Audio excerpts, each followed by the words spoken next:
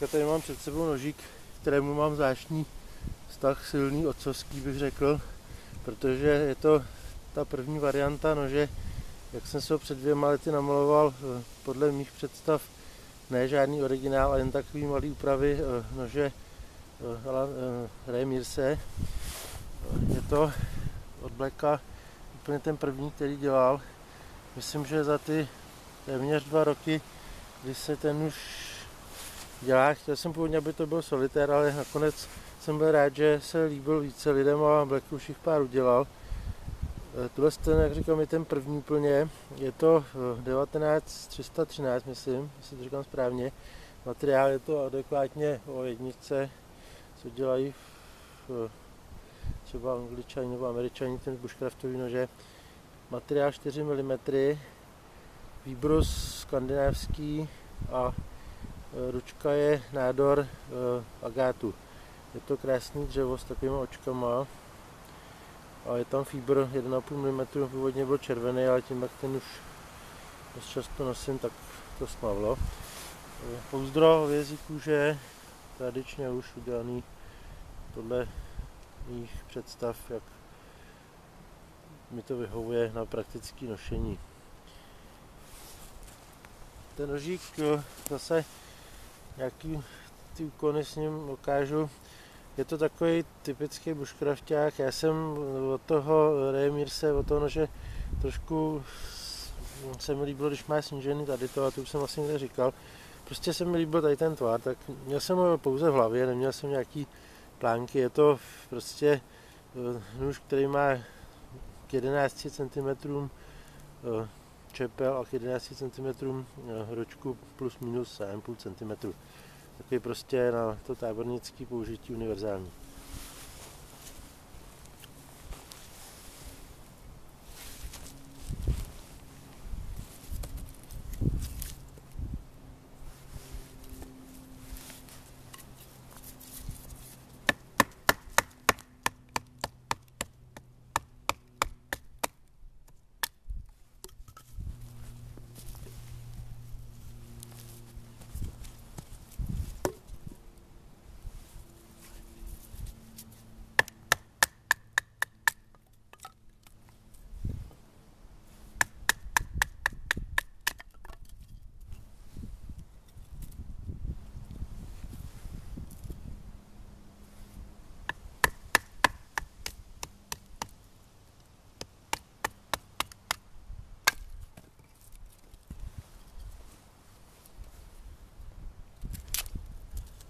Žík neskutečně dobře řeže, tady to skandinávský ostří tažený až do, do nuly, dá se říct, se prostě v mých očích jako nejlepší spolu s dobrým konvexem.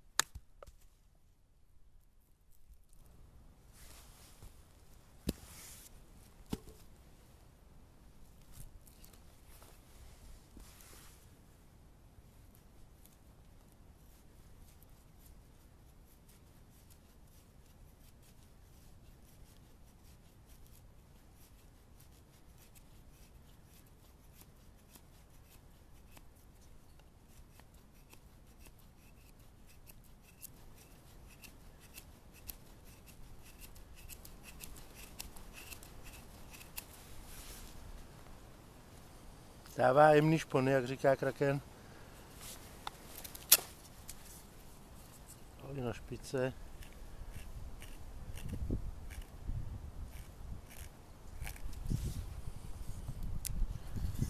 Vrtat pochopitelně s ním půjde.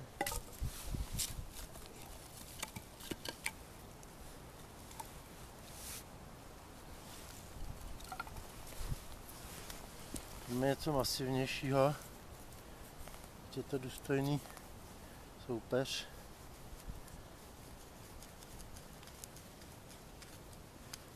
Je to těžce zmrzlý prostě.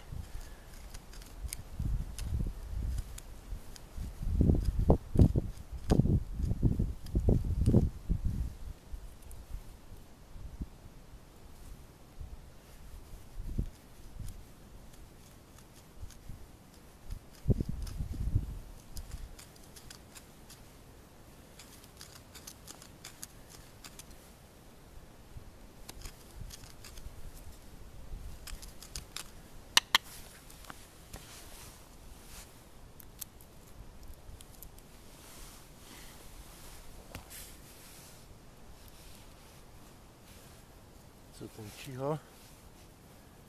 A důkaz, že to tam jde skrz.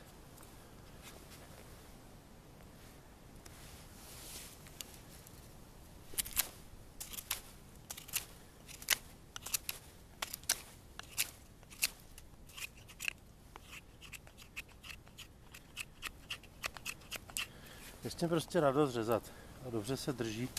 To ten původní tvar, ten druhý je stejný, akorát má, se mi zdá, malinko větší to bříško. To, co teď dělá Roman z té eh, trojky. Jinak je to teda nožík, který jsem si představoval, jsem s ním spokojený a je to jeden ze třech, který mám.